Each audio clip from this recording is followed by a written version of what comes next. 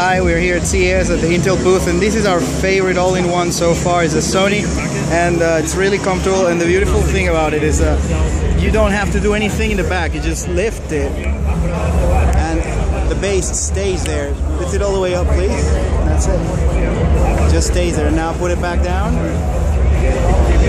It's, it's uh, natural. It's not clunky like the rest. Very cool stuff. You can angle it whatever. You can angle it, yeah, whatever level you want. It's running Windows 8.1, so you can have your productivity and your your uh, touch apps. Uh, it has its uh, wireless keyboard here, and it you know, has all the ports.